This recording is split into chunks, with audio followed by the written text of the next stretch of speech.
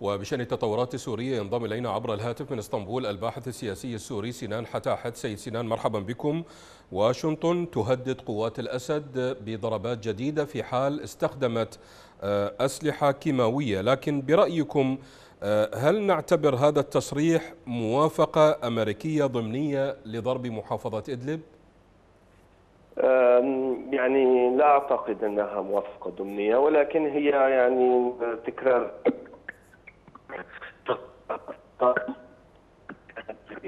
في الغوطة الشرقية حشد أيضا في جنوب سوريا.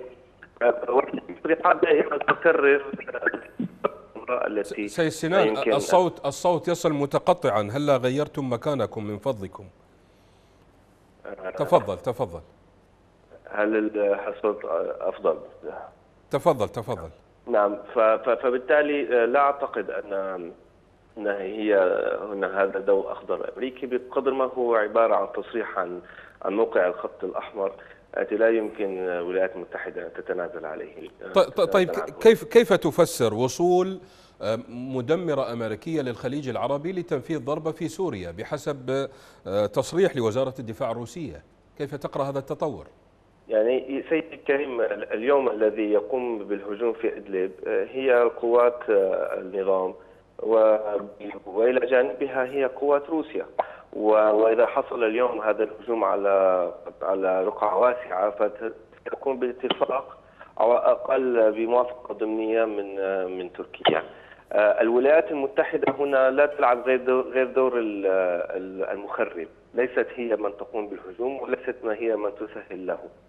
آه، واليوم روسيا ليست دولة صغيرة. اليوم روسيا هي دولة عضو في مجلس الأمن ولديها حق الفيتو ولديها نعم. أيضا ترسانة يمكنها أن تشكل رادع قوي باتجاه الولايات المتحدة. ما تقوم به الولايات المتحدة هو مجرد رسم خطوط الحمراء. ليست هي من تقوم فيها. في نهاية المطاف محافظة إدلب. بالنسبة للولايات المتحدة ليست أهم ليس لها أي أهمية استراتيجية. كل ما يمكن أن يهمها في إدلب هو بعض العناصر آه، المنتمين إلى تنظيم القاعدة ولا يريدون أن آه، أن أن يخرج هؤلاء إلى أوروبا ومن أوروبا ينفذون بعمليات آه، أمنية ضد مصادر أو عفوا ضد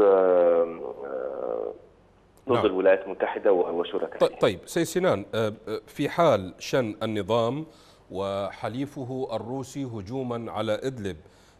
كيف نتوقع التداعيات بعد ذلك؟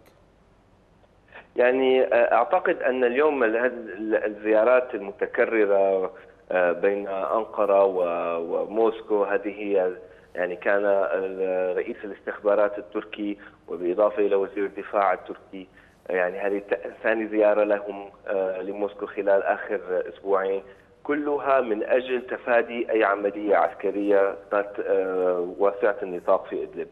آه، آه، يوجد بشكل آه، يعني واضح نوع من أنواع محاولة إيجاد طريق ثالث بين روسيا وبين تركيا من أجل تفادي أي عمليات نزوح كبيرة. هذه ليست فقط ليس فقط مطلب تركي وإنما أيضا مطلب روسي لأن روسيا اليوم تحاول إعادة تعويم نظام الأسد على المساحه الدولية من خلال آه، الورقة عودة اللاجئين. فبالتالي أي عملية نزوح جديدة أي لاجئون سوريين آه، سيصلون إلى الأراضي التركية هي أيضا عبارة عن آه، كبوة لهذه الخطة.